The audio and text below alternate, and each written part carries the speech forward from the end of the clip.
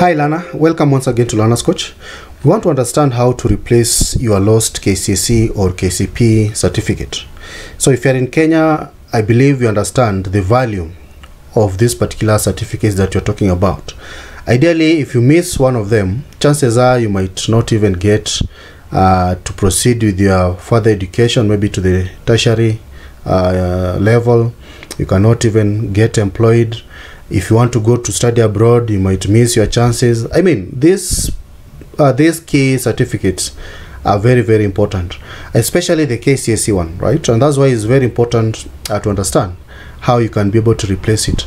Uh, maybe a while ago we didn't have a, an option of how we could replace it, but nowadays the government of Kenya, uh, through some act, have managed to put uh, in a way that you can always replace this particular uh, KCSE or other KCPE certificates. So I want us to maybe uh, go through this particular process step by step. Uh, in the end, I'll show you the KNEC uh, KNEC portal, the one that you should be able to uh, log in, and maybe what are some of the requirements that you need to fulfill uh, for you to be able to uh, successfully replace your certificate. So we are going to see how to log into the portal and maybe look at the key uh, requirements that you need to have. And of course you need to fill in the details and upload those particular required documents that you're going to uh, mention. Now those documents are very very important. Now it comes with a fee so you can't just uh, replace it. It's not a free process so you have to pay uh, for some amount uh, which you are going to uh, look at. So these are the key things that you, these are the key processes or things that you need to do uh, for you to successfully uh, get your KCSE or KCP uh, certificate. So number one, as I mentioned, you have to proceed to the NEC website. You will download those particular replacement forms, right? And then of course you're going to fill them.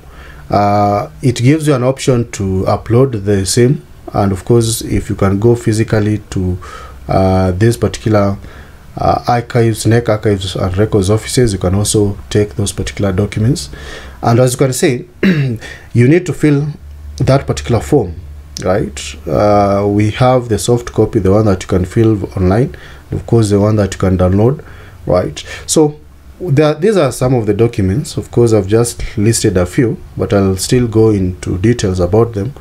So you need to have either a copy of your certificate, result slip, letter of completion, affidavit, right? We're going to mention uh, all of them. And the other thing, as I mentioned, is the payment process fee, right? Now, uh, kindly, uh, this particular amount that I've placed here is a bit, uh, of course, it keeps on changing. So by the time I was creating this video, it was at 5,800, uh, which you are to be able to pay uh, into this particular accounts.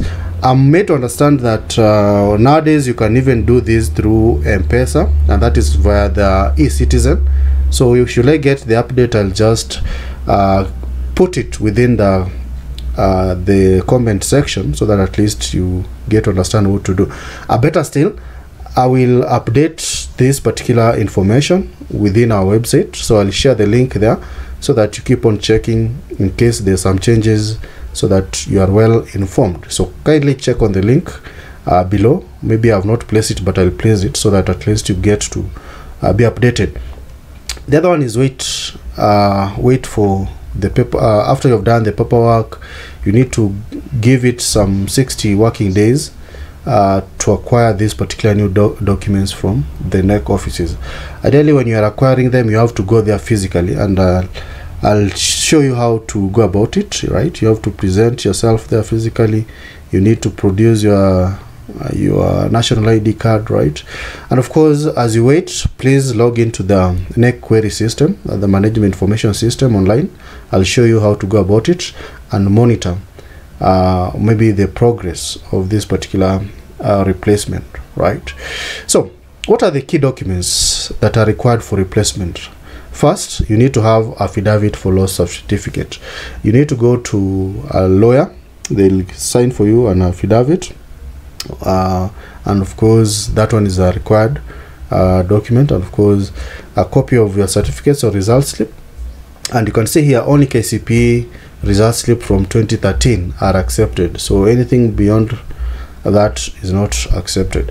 You also need to have a recommendation uh, addressed to the CEO of the NEC from either the head teacher, sub county director of education, or county director of education, right, for private candidates.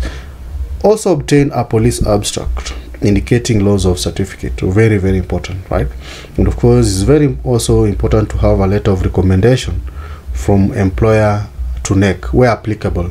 Because you realize that at some point you are working and they might maybe want to maybe promote you to a different uh, position. So the employer needs to create some uh, recommendation uh, to showcase why you need to replace your uh, your document. The other document is your national id or a passport right? So you need to have your national id for minors original birth certificate will be required which is a company with the original idea for a parent or a guardian.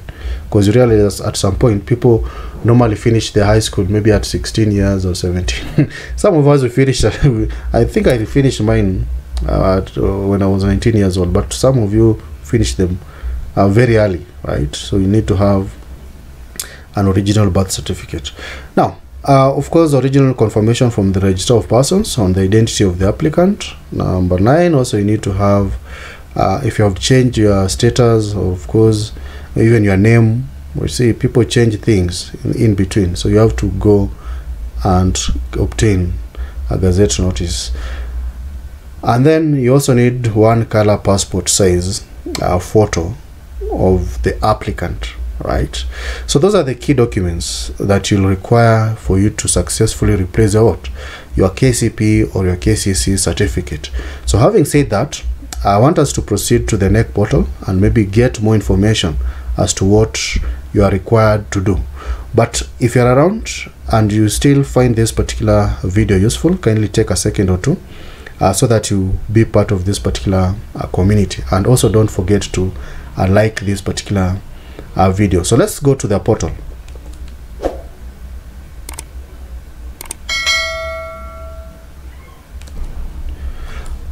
all right as you can see i am within the uh, NEC portal. And of course i've just gone straight to the frequently asked questions. These are the questions that people really ask right? And the question that we want to sort out is uh, this one right? I have lost my KCPE or KCSE examination certificate. Can i have it replaced? So this is one of the most asked questions within this particular portal. So they're telling us you may apply for certification a certification letter right? So you may apply for the certification letter. So kindly visit our website at this and proceed to the downloads and follow the instruction for applying for the certification uh, letter right?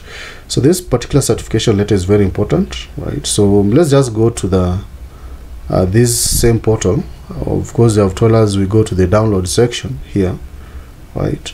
So this is some of the supplements or supplementary information that is very very important uh, when you want to replace your certificate. So you go to the downloads click on the downloads here and you'll see they have categories of examinations. They have the kp kepsi kepsa the KELV KCSE teachers. So just click on the KCSE section because I believe this is where we have this particular so here it is. Uh, let's just scroll down examination. Okay these so these are guidelines. These are just additional information kindly be guided. Uh, these are guidelines that contain requirements for individuals who have lost their certificates right? So what i've been talking about right uh, these are the guidelines. So maybe let me just let me just click on the view guideline but you can as well download these right? So you can see these particular guidelines right? Let me just uh, uh, let me just increase the view so that you can be able to see. All right i believe you can be able to see. So this is a guideline examination results certification letter. So you can see what they are saying here uh, applicants are expected to apply online for certification letter through the uh, query management system which i've already mentioned.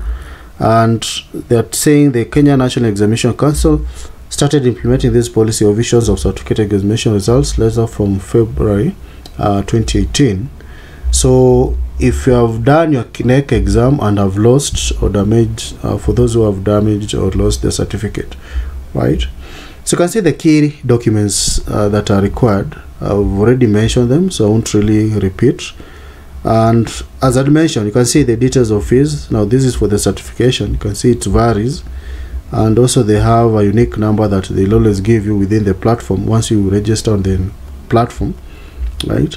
And you can see these are very important information further information right? So the examination result certification will be issued uh, uh, okay the examination result certificate letter once issued is not replaceable.